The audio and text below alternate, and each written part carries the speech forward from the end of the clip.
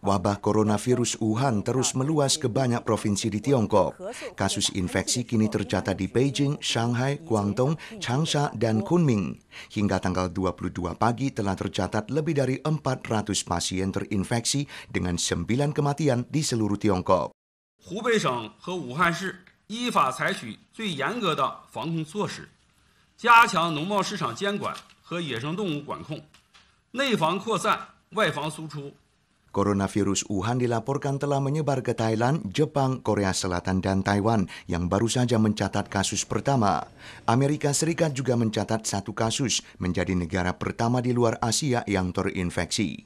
Menanggulangi arus mudik warga Taiwan di daratan Tiongkok dan memuncaknya penjangkitan influenza, MOHW mengumumkan delapan rumah sakit yang menawarkan pemeriksaan asam nukleat untuk coronavirus baru.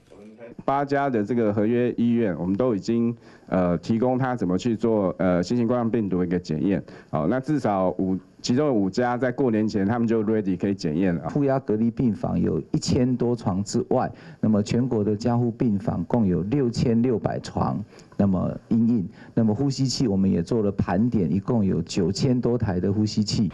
Menurut MOHW, 201 rumah sakit akan siaga 24 jam per hari dan menawarkan rawat jalan khusus influenza pada liburan Imlek. Sementara warga yang menuju Wuhan dalam 14 hari silam dan menderita demam panas atau mengalami gejala pernapasan harus segera menelepon hotline epidemi 1922, memakai masker dan berobat secepat mungkin. Menanggulangi penyebaran coronavirus Wuhan ke mancanegara termasuk Taiwan, rumah sakit di Taiwan telah meningkatkan kesiagaan. Zhonghe Memorial Hospital di Kaohsiung menggelar latihan pencegahan epidemi, termasuk prosedur karantina pasien dan langkah perlindungan bagi petugas medis.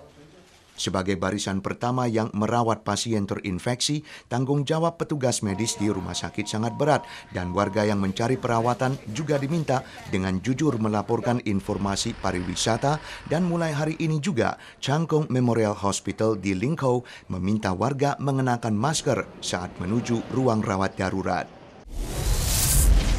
Cuaca di Taiwan akan berubah dari hangat menjadi dingin pada saat warga menikmati liburan Imlek sepanjang tujuh hari.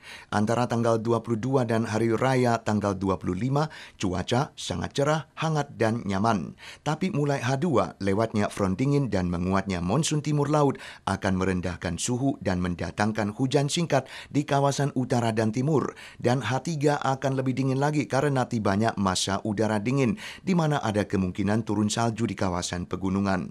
Cuaca dingin dan basah ini diperkirakan berlangsung hingga berakhirnya liburan tanggal 30. 正好水期比较多的时候，可能是在初三到初四这两天，所以如果以高山下雪的几率来说，是初三到初四几率相对略为高一点。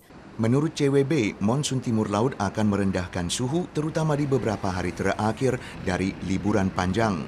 Sementara sistem awan kawasan Huanan akan bergerak ke timur mendatangkan hujan pada H2 hingga H4, terutama di pegunungan utara dari Taiwan Sentral, kawasan timur laut dan pantai utara di Kilong. Berbagai situs turis populer di Taiwan sedang siap-siap menyambut wisatawan berjumlah besar pada liburan Imlek tujuh hari.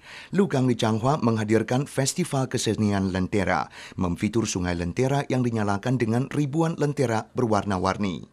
我觉得这里的话，用就是雨后的桂花巷艺术村有别有一种风情，颜色的的组合这样很漂亮。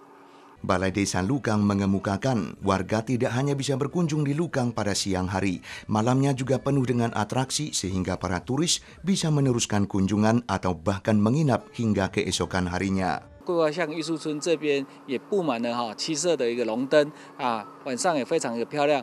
还有五五庙现在已经哈开始筹措在布灯，那在布灯上面哈会显示说一些宗教文化的一些特色。Di lain pihak, Festival Bunga Changhua akan digelar di Desa Xizhou pada liburan Imlek.